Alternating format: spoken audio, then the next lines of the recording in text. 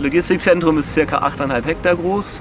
Auf dieser großen Fläche sind wir mit teilweise bis zu 60 Mitarbeitern dann in der Lage, in den Spitzenzeiten bis zu 50 LKWs pro Tag zu laden.